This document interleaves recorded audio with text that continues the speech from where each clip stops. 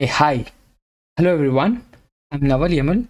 Welcome back to my YouTube channel Data Master and welcome to the playlist on the Microsoft Fabric. In this video, we are going to go deep dive into the workspaces in Microsoft Fabric and in the Power BI. For that, let me explore the documentation of the workspaces in Microsoft Fabric I'll give I'll be giving you the link for this documentation. So what are workspaces? The workspaces are the place to collaborate with the colleagues to create the collection of items. So in Microsoft Fabric, we have an items like a lakehouse, warehouse, reports, or you can also create a task flow within this workspaces. So your workspace, once you have created it, it looks something like this so in this video i'm going to show you how to create a workspace. And once you create a workspace how to look at the settings of that how to integrate it with the Git and how to look at the detail uh, endorsement and the details of the workspace we are going to see that in the hands-on. So work with the workspaces. So we are going to set up a task flow for the works workspace. So what is task flow? So it is like to organize all your items you need it for your data projects. So if you're working on one of the data projects what all things we needed and now your project would be flowing. So for that we create a task flow. So i'll be creating a separate video on the task flow. We are going to go deep dive into it. Then we have uh, pin workspaces. So if you have multiple workspaces you can quickly uh, pull out the workspaces you wish to. You can pin those and you can use the granular workspace roles. Like we can set up a permission management in the workspace like admin member contributor and the viewer. So i'll make a separate video on this talking about the different roles and the permissions. Then we can create a new folders in the workspace. We can navigate to the current workspace. We're going to check the workspace settings and how we can manage the workspace in the Git. So your current workspace should look something like this. And this is your workspace layout. So this is about the theory part. I'll give you the documentation link. Let me jump on to the microsoft fabric hands-on. So i'm using a trial version here. I'll just jump on to any of the experiences. So as we all know microsoft fabric you is a software as a service which uses all the experiences like all the data people can work together. You are if you are coming from data engineering background data science background data analytics background your machine learning background yes for everyone we have one single platform and we have a different experiences in it. Suppose if you're from a data engineering background we use a data engineering experience. In data engineering experience we have different items in it. So i have made a detailed video on the introduction on the microsoft fabric. I'll give you the link on that. You can check. So inside each of this experience we have different items for example in data engineering we have an items like a lake house we have a data lake gen 2 we have uh, data flow gen 2 we have data flows pipelines and so on. In data warehouses we have different items and so on. So let me click on any one of the experience and we'll start creating a new workspace. So let me just click on the data engineering and it shows you a message like welcome to the microsoft fabric. So here you can see on the left side or the left pane you have workspaces I have already created few of the workspaces. Let me show you.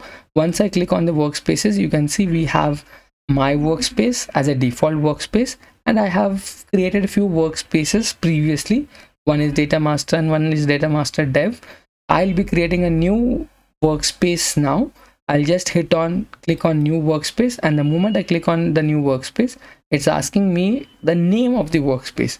So now I'll just say the workspace name as data master youtube for youtube. So whatever the experiences whatever the items i'm going to create it all will be stored inside this workspace.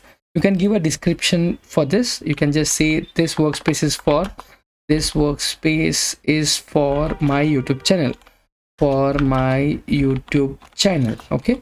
You can give any workspace like this is for the project one this is for the business unit one this is for the dev environment and so on. Then you can start uh, giving a domain like assign a domain it's an optional now. You can set up a workspace image. You can go to the advanced settings here. Like you have a contact list. So now i'm the owner and you can see my organization details here. You can add other people to this workspace. And we have a license mode. Now i'm using a trial version. But when it comes to microsoft fabric we have a few licensing mode like a pro premium per user premium capacity. We have a fabric capacity also. We will be exploring about the licensing mode the pricing mode on the fabric in the later videos. Let me just click on apply. Let us keep it as a trial and just hit on apply. Within few seconds you will be getting a new workspace and you can find that workspace details in the workspace section. If you just click on it you can see you got a workspace called a data master youtube. So once you click on the data master youtube workspace you can pin that. You can see you can pin it. So what i'll do i'll try to pin this so that it will always be shown you at the top. So for the quick flyout we can access this by using the pins. So once you create a workspace your uh, workspace looks something like this which is divided into two sections majorly. One is you have a work uh, workflow or you can simply call it a task flow.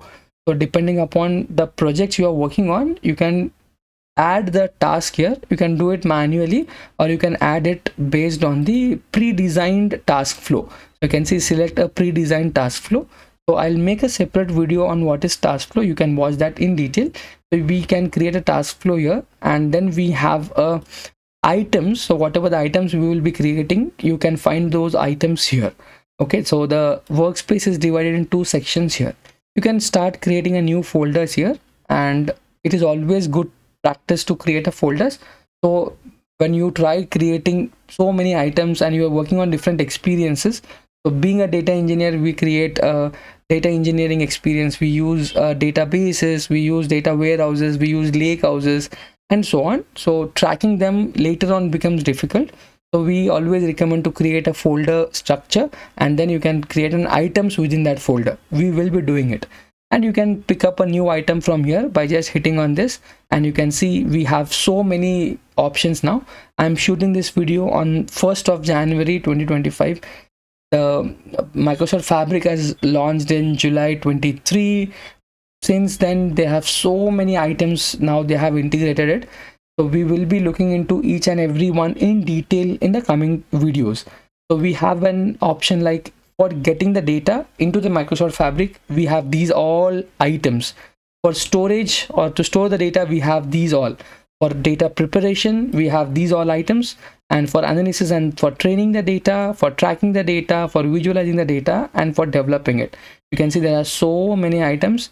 Uh, so we will be using few of them. We'll just mark them as a favorite and we can use them later on by using this favorite. So i'll just close this. And you can create a folders as i told you. You can just hit on create a folder and you can start saying that okay i'll be using day one folder i'll just hit on create and you can see we got a folder here. Within this folder we will be creating few items inside this okay? And let me talk about the workspace settings. The moment you click on the workspace settings you can see we got a general information. So just in case if you want to rename the workspace name you can do that. You can rename the description and you can assign the workspace to the relevant domain people. You can do that and you can assign the workspace of your OneDrive and your workspace contacts. And we have so many other options like you have a license information. As I've told you, we are using a free trial, but you can change them. You can pick a pro premium or a, a fabric capacity here. Let me click on this. Yeah, we have an Azure connection. So if you are if your enterprise, if your organization is already using an Azure account, and you want to pull the data from there it becomes easy to connect this workspace to the uh, to the azure account. Majorly we are talking about azure data lake gen 2 we can configure it by using this. Then we have uh, we will be doing it in the coming videos. We have a system storage. You can see the details about the whatever the items you create within this workspaces all can be tracked in the system storage here. Then we have a git integration so you can integrate it to your azure devops or you can go with your github also. Then we have a one lake. So for every workspace whatever the experiences you are working on or whatever the items you are working on everything will be stored into one single storage called one lake. So OneLake is simple like the OneDrive. So if you have been using OneDrive from Microsoft 365 or if you have been using Google Drive, just an example, where we create a sheets, we create a Word document, PPTs, all those will be stored into one location that is Drive, OneDrive or Google Drive and so on.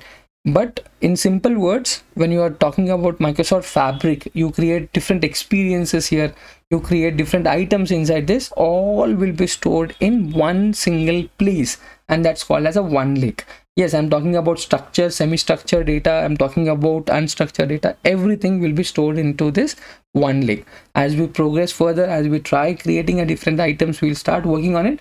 I'll be creating a separate video on this OneLake also. Then we have a workspace identity we have a network security we have a monitoring here. We have the details related to the power bi so if you want to make a connection to your power bi you can do that. For the data science and for data engineering we have a spark setting. So most of the time as a data engineer we'll be working on the notebooks where we'll be using an apache spark tool a big data parallel processing. And how you want to uh, do the spark setting you can set up that. You can see here we have a pools we have an environment we have a jobs. Now the latest version of spark is 3.5 and in that we are using the latest uh, microsoft fabric version that is 1.3 now then we have uh, automatic logs concurrencies jobs and so on. Then we have a data factory. So if you're talking about uh, microsoft uh, or azure data factory so where we try to create a pipelines we'll try to run it. So the configuration details about the data factory is shown here. So this is all about the workspace settings. So a quick recap now on this. So works uh, my, we are going we have discussed about the workspaces in microsoft fabric as well as power bi so why we are talking about power bi here? Because now if your enterprise is, is already using a powerbi.com that is power bi service and if you just enable it to the microsoft fabric so you can get this type of workspace. So that's the reason why we are talking about workspaces in microsoft fabric as well as in power bi so the workspaces are the place to collaborate with the colleagues to create the collection of items such as your lake houses your warehouses and the reports.